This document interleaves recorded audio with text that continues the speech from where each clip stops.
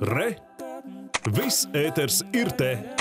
Dienas gaitā vējš pierims, bet jā, aizvadītajā naktī vējš pastiprinājās brāzmās e, Jelgavas un arī Dobels novērojuma stacijā fiksētas stiprākās vēja brāzmas aizvadītajā naktī līdz 20 metriem sekundē, bet arī šorīt e, Kurzemes piekrastē, tāpat arī Vidzemes rietumu piekrastē brāzmains vējš līdz 13-19 metriem sekundē. Nu, tuvākajās stundās tas vējš ne pret ko neatdursies, bet e, nu, nedēļas izskaņā tas noteikti pierims, jo tad atdursies pret augstumu. Bet vēl šorīt ļoti silts rīts rīts. Par visu pēc kārtas, tad eh, šorīt Latvijā debesis lielākoties ir apmākušās. Galvenokārt valsts austrumos arī nokrišņi, galvenokārt smidzenošs lietus un brāzmains vējš valsts lielākajā daļā vēja brāzmas līdz 13-15 metriem sekundē, kurzemes piekrastē, tāpat arī vidzemes rietumu piekrastē līdz 17 metriem sekundē.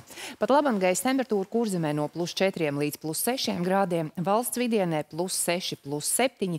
Vidzemē šorīt gaisa temperatūras vārstās no plus 2 līdz plus 6 grādiem, Latgalē plus 7, plus 9.